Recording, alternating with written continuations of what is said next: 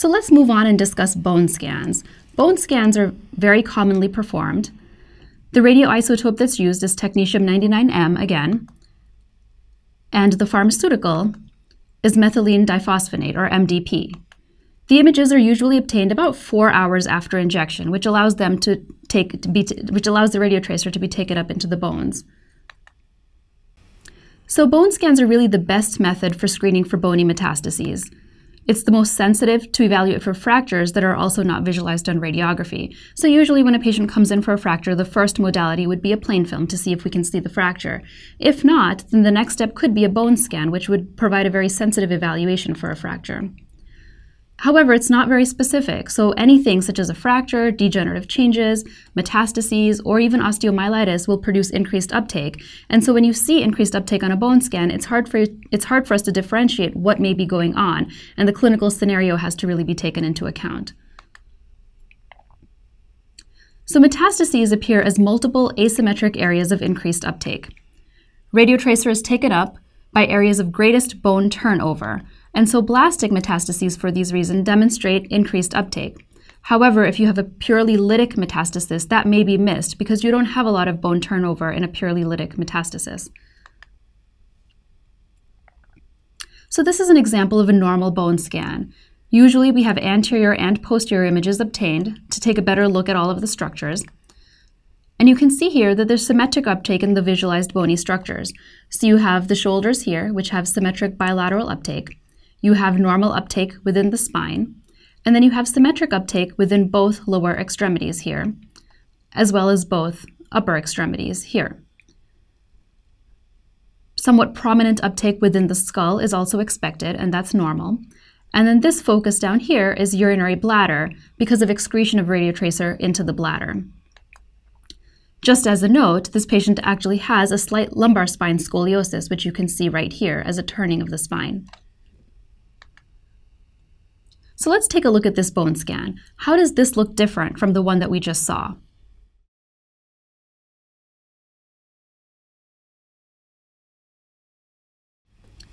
So you can actually see here multiple asymmetric areas of uptake within the ribs. You have multiple areas within the ribs right here, which are asymmetric from the other side. You have areas of increased uptake within the pelvis. So this area right here stands out much more significantly than the area on the right side over here. You also have asymmetric uptake within the shoulder. So the right shoulder has more uptake than the left shoulder does. This patient actually has metastatic breast carcinoma, and this was known prior to performing the bone scan so that we know that these areas of uptake are related to bony metastases. Cardiac scans are also very commonly performed as a nuclear medicine examination. It's also called a myocardial perfusion scan or myocardial perfusion imaging, and the radiopharmaceuticals that are used can be multiple. Two of them are technetium-99 labeled, or we can also use thallium-201. So what are the indications for cardiac imaging? It can be used to evaluate for myocardial ischemia or infarction. It can also be used to detect wall motion abnormalities, because again, you have to remember that nuclear medicine is a physiologic functional examination. We can use myocardial perfusion imaging to calculate left ventricular ejection fraction as well. So cardiac images are obtained at both stress and rest, and the two are then compared. So the stress is, can be performed in a couple of different ways. It can be exercise-induced, such as running on a treadmill. However, for patients that can't exercise, it can also be pharmacologic. So the patient can be given adenosine, dobutamine, or dipyridamole prior to the examination, the stress portion of the examination. This is an example of a normal cardiac scan. So images are obtained in three different planes. We have short axis, we have horizontal long axis, and then we have vertical long axis. The top row of images shows the, shows, um, the exam performed under cardiac stress, and then the bottom row of each set is performed at rest. So we have short axis stress, short axis rest, and then we have horizontal long axis stress, horizontal long axis rest, and then this is the vertical long axis stress and vertical long axis rest. And then again, these are all compared. So let's take a look at this scan here. See how it differs from the prior one that we looked at. On these images, again, let's take a look at this row here. This is the horizontal long axis, and these up here are the stress images. These down here are the rest images. So in the normal heart, the stress and rest images should have normal flow to all aspects of the heart. It should be the same at both stress and rest. However, if you look at these stress images here, you can see an area of photopenia, which isn't present on the rest images. So under stress, this heart is losing blood flow to this portion. So this is called a defect on the stress portion of the images, and it improves on rest, which is consistent with ischemia. If the defect persists on both the rest and the stress images, then that represents an infarction. So you can also perform EKG-gated SPECT images. EKG gating refers to a technique of acquiring images based on the EKG rhythm, so the images are obtained at the same point in the cardiac cycle each time. This allows for evaluation of wall motion abnormalities, and this can also be performed as one of the ways of performing a cardiac scan. So let's move on to thyroid scans.